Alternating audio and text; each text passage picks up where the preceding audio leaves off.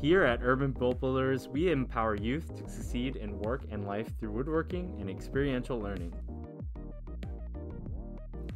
I didn't really know what I wanted to do as my career, but I've always been great at making things with my hands.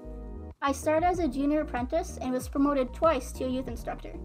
As I learned the ins and outs of woodworking, I became more social and less introverted. I've grown a lot since I started as a junior apprentice a year and a half ago.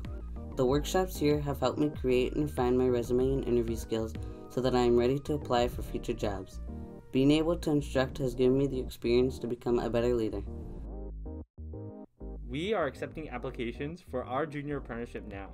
Come join us and start building pathways to your future career.